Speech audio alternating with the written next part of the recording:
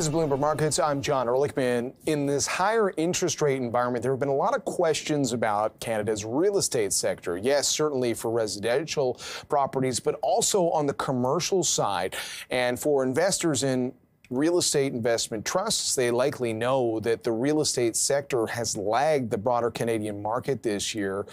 Gaurav Mathur is Director of REIT Research at Laurentian Bank Securities, and he joins us here in studio. Thanks for being with us. And, you know, I think this is a wide world of companies that have exposure to real estate yeah. but, uh, or, or, interest rate uh, moves. But how significant of a change has this interest rate environment created for, for the real estate sector? Well, firstly, thank you for having me on the show. Um, you know, to your question, it has been quite significant. Uh, bear in mind that before the 500 basis point increase by the Bank of Canada, we were looking at a very long period of sub 1% rates.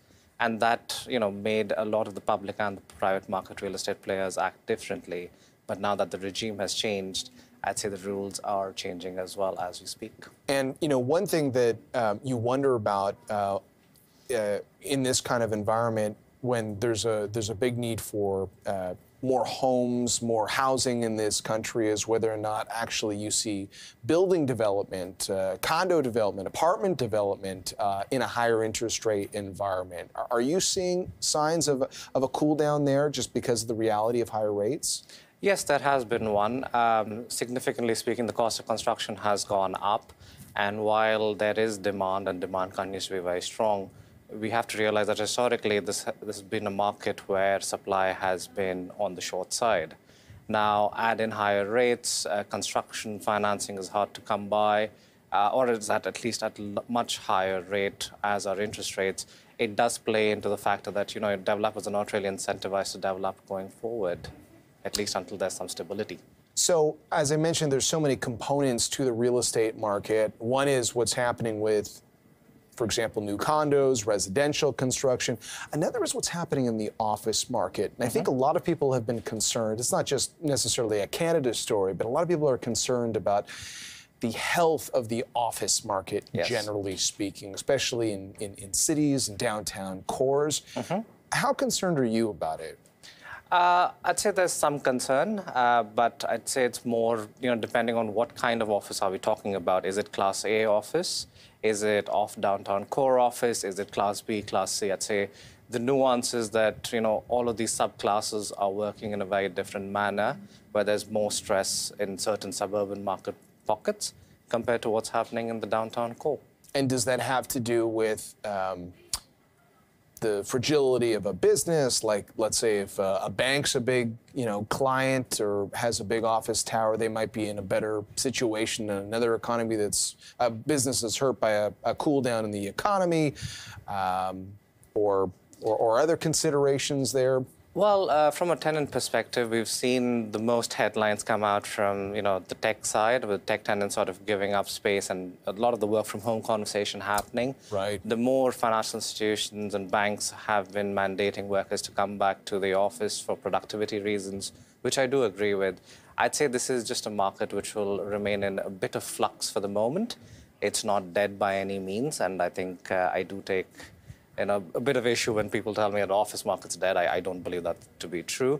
But yes, it, this will work itself out uh, over the coming year. And then, then there's the investing piece, and maybe we can zero in on the public investing part of it because you cover a lot of these different real estate investment trusts. And a reminder to our audience that there's a lot of different businesses that make up Canada's real estate investment trust sector. Mm-hmm. There's companies, yes, that focus on residential, some that focus on the downtown office market. There are some that are focused on things like strip malls mm-hmm. or, you know, the real estate associated with a grocery store chain.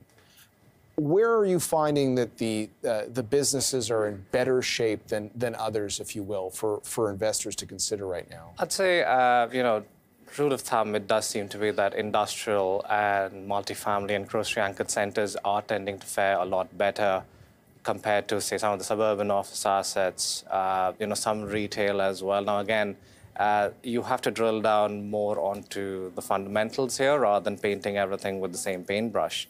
There are certain names where, you know, the retail assets are working, but, you know, the stock price at the moment may not be. And that sometimes is a, a reflection of the business. Sometimes it's just a, reflection of the mood of the markets. It is more a reflection of the mood of the markets at this stage. Um, if the business are producing cash flow growth, I'd say that's the metric that we're looking at uh, avidly across the entire coverage. Uh, we do tend to, you know, give them a lot more points uh, there, but uh, it, it does take a wants to view. So, Gaurav, you, you cover a, a whole host of uh, publicly traded real estate names. Are, are there any examples of, of companies out there that get a pretty big check mark from you, uh, a thumbs up, if you will, as, as, as investments you think are, are, are, are worth considering right now? Absolutely, and you know, back to our earlier conversation, you know, multifamily is something that we at Laurentian Bank Securities are very bullish on going forward. We do like a lot of the names uh, in our coverage. Uh, you know, there are some good ones there with Boardwalk reporting, you know, today uh, or earlier or last night, with uh, you know very strong numbers across the board. Minto's reported, Killam's reported. So you're seeing a lot of the top line and revenue growth come through, given the supply-demand dynamics. It's a sector where you know, given where we are in this stage of the cycle, uh, you are finding opportunities to you know buy and hold on for a different amount of period.